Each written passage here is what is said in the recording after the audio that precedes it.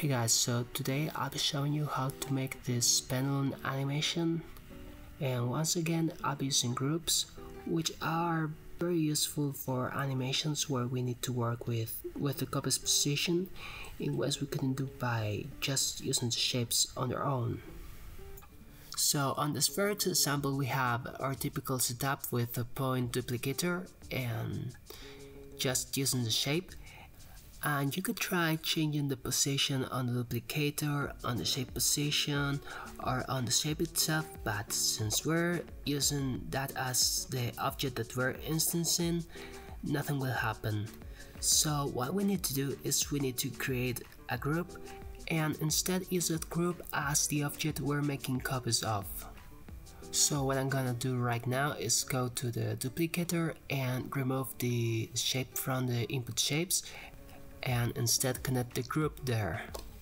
Then we have to keep the visibility of every object that is the child of the object we are making copies and the parent object is the one that needs to be turned off so we won't see it. If I change the object pivot point, now we're gonna see it's moving and we know we're on the right track so we're gonna add a behavior this time we're adding a stagger behavior to the x-axis. And as we increase it we can see it's doing exactly what we want it to do.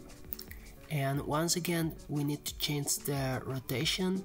And as always this has to be done on the object itself because it's the only place where we're gonna see it has some effect.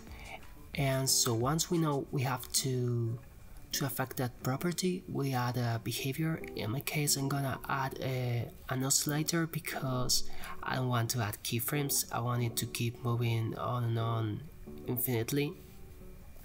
And now we need to come back to the duplicator because that object is the object that manages the copies. So we have this property called shape time offset and if we move it we know we have we have done something that is working.